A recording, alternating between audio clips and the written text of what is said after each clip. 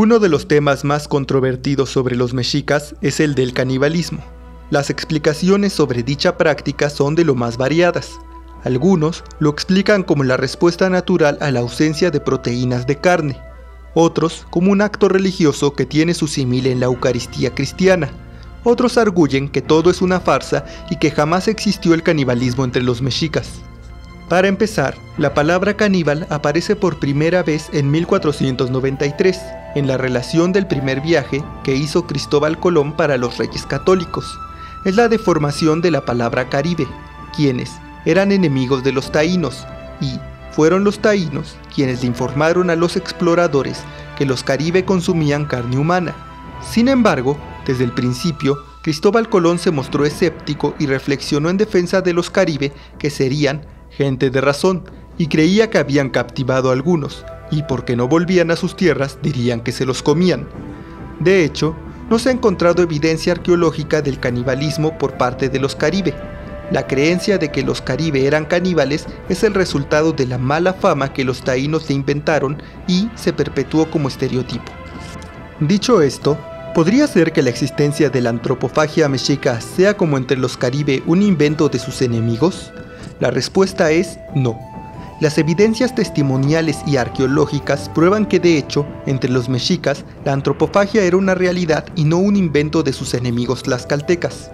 Además, los tlaxcaltecas compartían dicha práctica, pero ¿por qué el canibalismo estaba extendido en Mesoamérica mientras que en otras culturas americanas como los incas o los algonquinos prohibían dicha práctica? El prión es una proteína mal plegada capaz de transmitir su forma mal plegada a otras variantes de la misma proteína. Consumir priones produce enfermedades neurodegenerativas. No obstante, los priones tienen un papel importante en el desarrollo neuronal, por lo que gran cantidad de priones se alojan en el cerebro de animales y de humanos. Posiblemente fueron las enfermedades provocadas por el consumo de cerebro humano lo que llevó a la aparición del tabú del canibalismo. Si los mexicas eran antropófagos, ¿por qué ninguna crónica menciona enfermedades de tipo neurodegenerativo entre ellos? La razón se debe a que los mexicas no consumían los cráneos de los sacrificados, los exhibían en el Zompantli. Bernardino de Sagún nos dice que, sacados los corazones, llevaban las pasito, rodando por las gradas abajo. Llegadas abajo, cortaban las cabezas y las un palo, y los cuerpos llevábanlos a las casas que llaman calpul, donde los repartían para comer. Si los corazones los ofrecían a los dioses, entonces tampoco los consumían. ¿Qué parte de los muertos comían entonces? Cervantes de Salazar es abundante en detalles en su obra. En ella nos especifica que los aliados tlaxcaltecas consumían de los enemigos caídos únicamente los brazos y las piernas. Es de suponer entonces que igualmente los mexicas consumían solamente los brazos y piernas de los enemigos caídos y de los sacrificados. Evitaban así cualquier problema derivado del consumo de priones.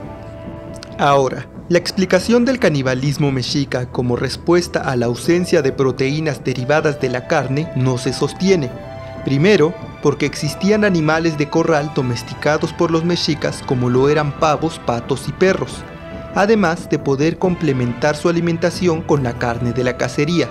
Segundo, porque la antropofagia proporciona menos nutrientes que otras carnes como por ejemplo la del pavo, mi teoría sobre la razón del canibalismo mexica es la siguiente. En general, durante las guerras, los combatientes sufren por la carencia de víveres cuando una campaña se extiende por mucho tiempo.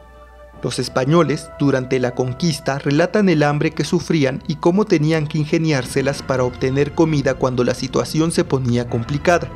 Al mismo tiempo, relatan cómo los aliados tlaxcaltecas soportaban mejor las adversidades comiéndose a los enemigos caídos.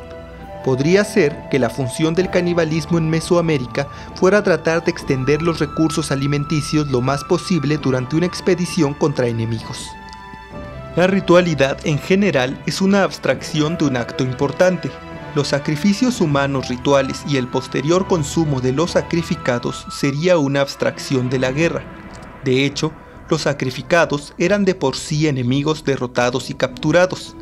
Al sacrificar un enemigo y consumirlo posteriormente, los mexicas podían reafirmar el concepto de guerra, y hacer partícipes de ella a quienes por alguna razón u otra no participaron en ella.